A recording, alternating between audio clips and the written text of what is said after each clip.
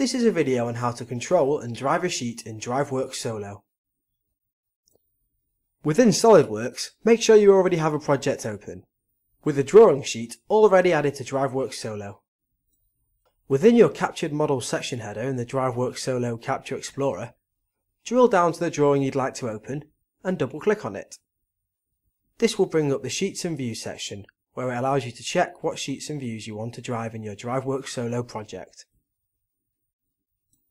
You will see there are two pages associated with this drawing.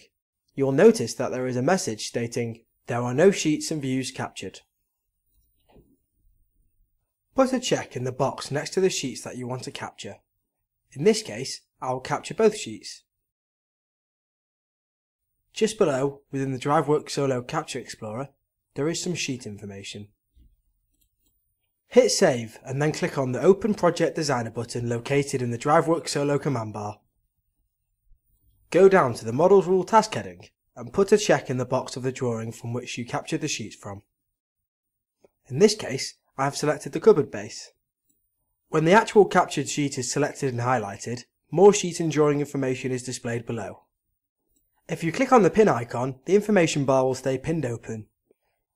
Now it's time to start capturing some sheet information and building them into the rules. For now I'll double click on the Sheet 1 Sheet State and put DWG in the rule between speech marks. This will create the sheets as a DWG file. I will come back to Sheet 2 in a short while. Go to the Form Designer task heading in the Project Designer. Here I will create a checkbox called Create DXF.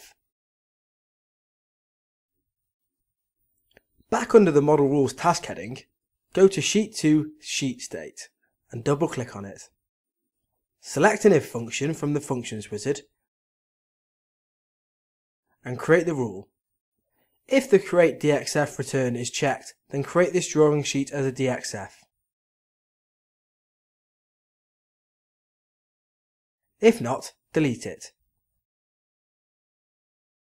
Click on OK to accept this rule. Select Sheet 1 Scale Numerator and Sheet 2 Scale Numerator together whilst holding down Control and click on Build from the Project Designer command bar. Simply enter the number 1 into the rule builder and select OK to accept this rule. Enter 1 into the scale denominator rule for sheet 2 scale denominator as we want the scale to be 1 to 1 for the DXF file. To work out what to enter into the scale denominator, this simple equation can be used to work out your drawing scales. New scale divided by old scale should equal new size divided by old size. For the sheet 1 scale denominator, we shall enter with return divide by 664 and then times all of that by 5. Then use a roundup function which is found under the functions wizard which will round up the results of this rule to the number of digits we specify. In this case, I will specify 0 digits as we don't want any decimal places.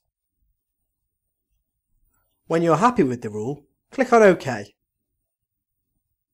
To learn how to capture and drive a view, please watch the following video entitled how to capture and drive a view.